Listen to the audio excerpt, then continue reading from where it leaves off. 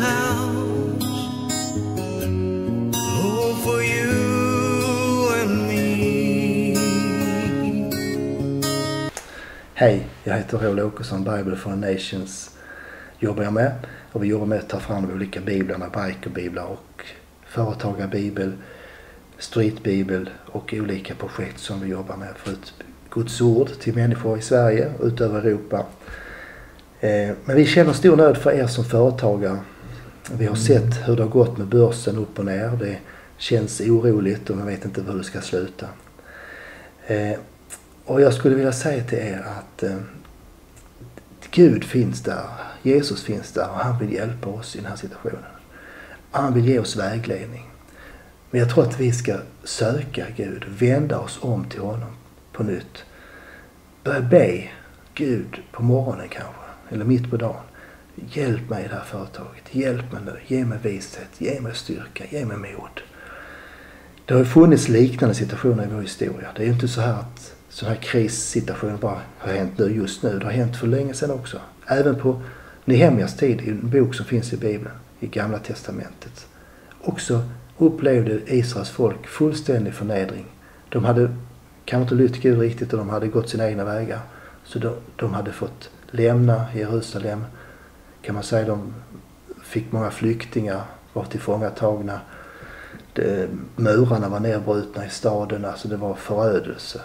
Och det fanns liksom inget hopp egentligen. Men det var en man som hette Nehemja. Han fick sån stor nöd för sitt folk. Så han liksom bad och fastade till Gud. Och, och också handlade, åkte dit och kollade läget och försökte. Hur kan vi göra detta nu? Hur kan vi bygga upp muren på nytt?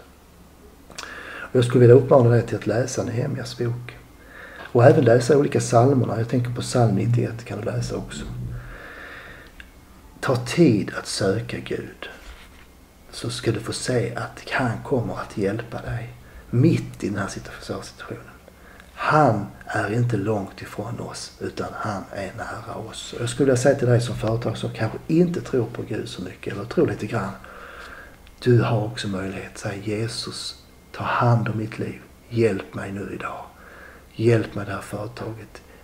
Ge mig rätt tankar, rätt initiativ.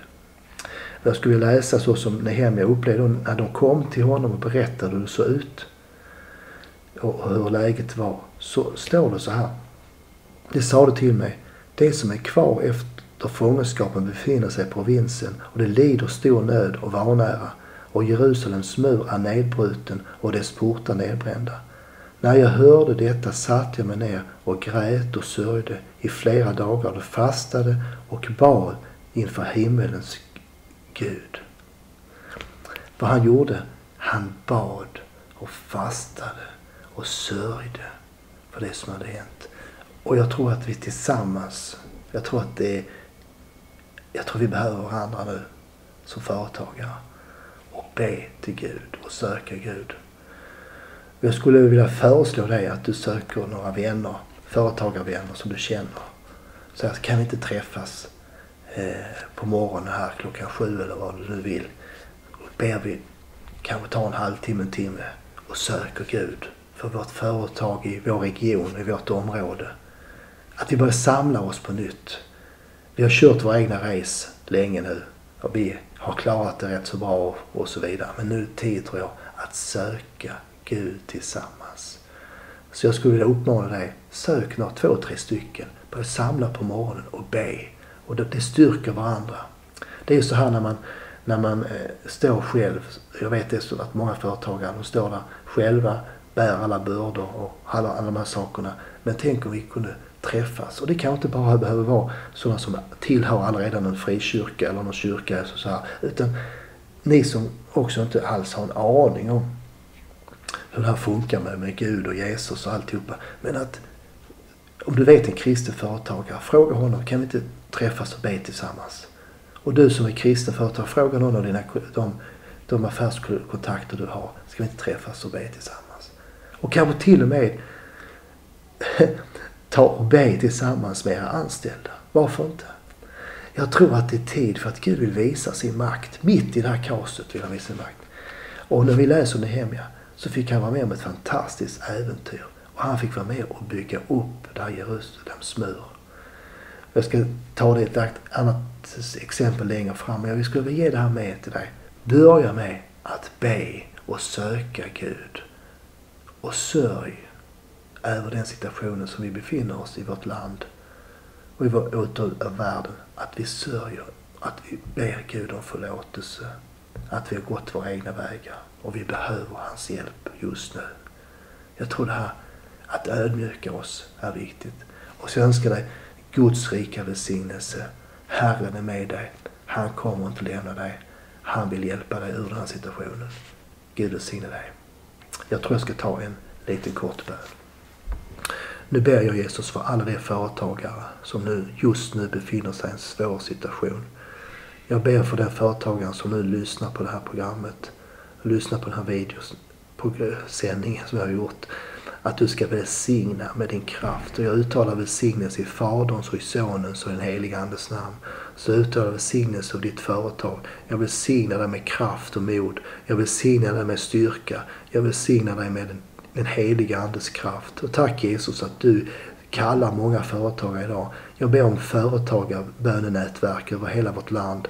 Jag ber att många ska börja be tillsammans och söka ditt ansikte. I Jesu namn.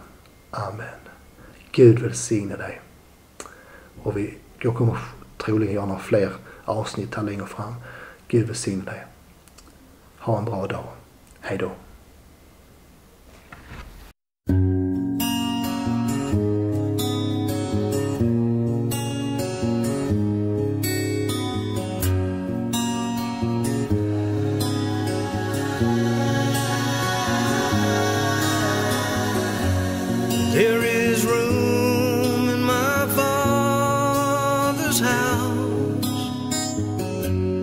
Oh, Won't you and me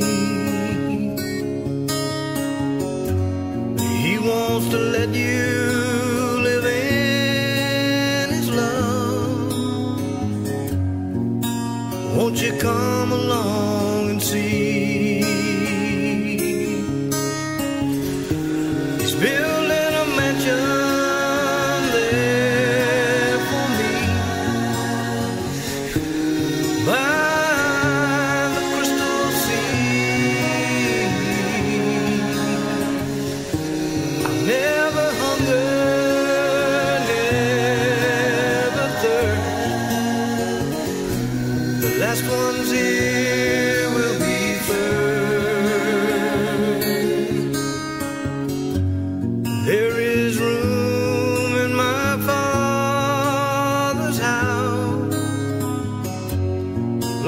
You